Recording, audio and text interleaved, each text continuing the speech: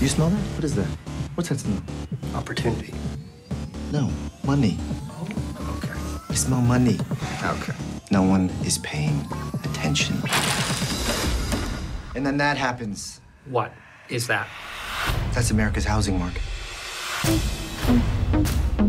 Jared Vennett knows how to dress. This is a guy who can talk to lots of different people. You got a big mouth, you like to run it. Can you just Okay. keep it shut for a few days? Okay. Right from the beginnings, like this has to be Ryan Gosling.